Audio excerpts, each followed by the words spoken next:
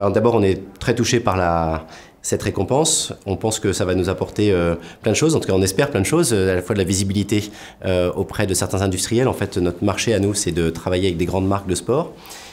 donc on a lancé le tennis avec Babola, le ski avec Rossignol. Et, en fait, on souhaite bien sûr lancer 24 sports. Et donc, plus on a de la visibilité auprès des grandes marques de sport qui peuvent se dire tiens, euh, il y a dans, dans, PIC une technologie, euh, un savoir-faire dans la big data et dans les objets connectés, euh, c'est le meilleur moyen pour se faire connaître. Le monde du sport est en train d'évoluer. Je pense qu'on fera plus de sport en fait sans avoir de la data qui va avec. Et je pense qu'en fait la vision du jury, c'est de voir bah, dans un nouveau monde sportif le fait que la data fasse partie du cœur du, sport. Je pense que ce sera un des sujets qui sera important. Alors les prochains défis, bah, c'est la distribution des produits, à la fois en Europe et aux États-Unis.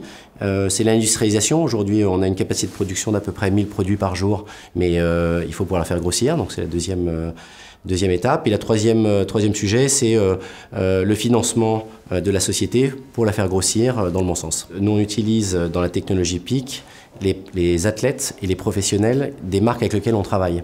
Donc, euh, euh, à la fois des athlètes de, de de tennis comme de Babola ou de, Rossignol. Dans, Rossignol, par exemple, il y a Ben Valentin, euh, Brice Roger, qui sont à la fois les deux champions du monde sur chacun une discipline. Donc, c'est ce type de, de sportifs qu'on utilise, ce sont les sportifs de nos marques.